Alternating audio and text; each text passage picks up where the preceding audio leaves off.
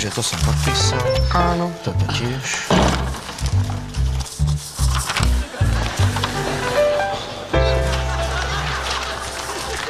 Mám pre vás odkaz od Ivety. A sme v prdeli! A sme v prdeli!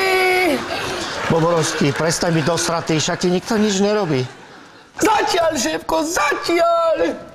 Máme špeciálnu utajenú úlohu. Hej, jak, jak ide o to, že treba takého zabiť. Tá, toto, ja do toho nejdem, bo ja by som nikomu nič nezrobil. Jedine, vtedy, jak by mi skakal do kamarátov alebo do rodziny, alebo jak by nechcel vypiť. Máme špeciálnu utajenú úlohu.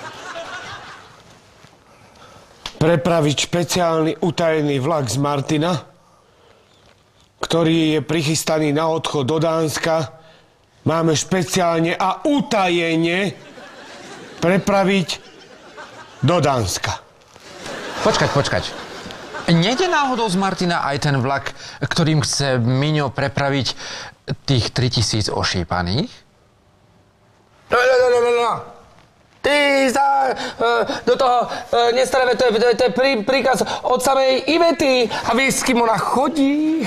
Vieš, s kým chodí? A, no veď práve to, odkedy zadáva mm, tajné úlohy priamo ona. Nemal by nám niekto zavolať e, z policajného prezídia, alebo sám policajný prezident, alebo, alebo niekto z ministerstva vnútra. Vyšný, prosím ťa, pres, prestaň múdrovať. Dobre, buď taký dobrý.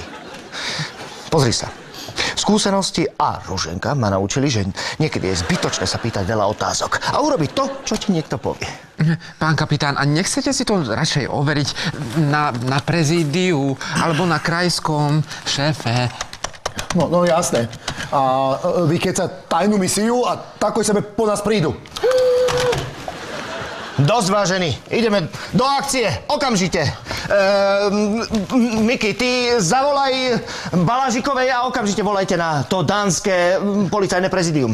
Ty, Hurka, choď na stanicu, Martin Vrútky a vybav, aby bolo všetko v poriadku, hej? Aby ten náš transport dorazil do destinácie. A ty, Vyšný, hlavne nemudruj.